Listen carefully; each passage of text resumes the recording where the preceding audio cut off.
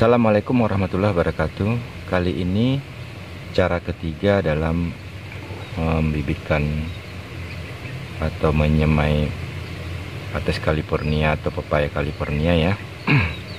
Nah saya sudah sediakan eh, tempat penyemaian saya sebelumnya yang memang saya semai di, di separuh dulu ya. Nah setelah kita rendam tadi ini yang tadi yang video saya sebelumnya ini kita cukup taburkan saja ya. Kita saya kasih contoh sebelahnya tadi. Kita taburkan saja mulai ya. Nah kita taburkan saja seperti ini. Kita uh, bisa jangan terlalu rapat dengan oh, temannya ya. Dengan biji yang lain. Ini. Kita tabur saja ya bisa lebih besar sih daripada ini. Boleh polybag boleh apa saja ember bekas atau apa. Ini kebetulan bekas pot. Nah setelah itu kita siramkan ya penutupnya. Dan tanah gembur ya. Boleh kompos lebih baik. Nah, kita tutup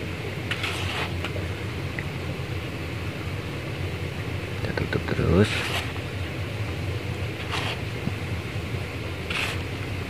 Setelah itu kita siram ya seperti biasa. Kita siram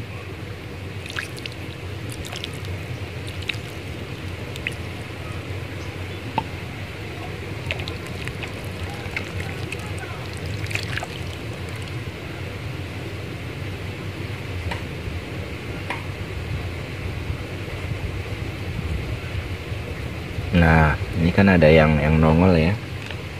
Nah, bagi yang nongol ini kita tambah lagi ya. Tapi kita nggak usah siram lagi karena udah kenyang dari siramannya udah terlalu luber. Nah, tutup ya. Nah kira-kira seperti ini. Kita tinggal menunggu dia tumbuh payahnya seperti yang ada contoh sebelahnya Nah, ini ada kelebihannya dalam dalam penyemaian seperti ini kalau apabila untuk pepaya. Kenapa sih? Kelebihannya adalah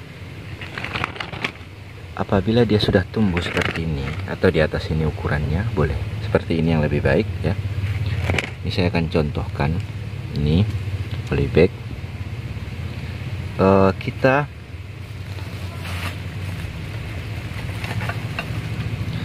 kelebihannya adalah uh, menurut kami ya menurut kami di kampung ya ini kita cabut ya. Nah ini kita cabut. Setelah kita cabut seperti ini kita potong saja ini. Kita potong akarnya. Ini kita potong akarnya ya. Akar apa ini tunjangnya ini ya. Nah, ini kita potong ini kalau menurut kami apabila kita potong akarnya ini sehingga dia akan memancing akarnya menjadi lebih banyak ya akar tunjangnya akan menjadi lebih banyak. Dan kelebihannya dia akan lebih kuat pertumbuhannya.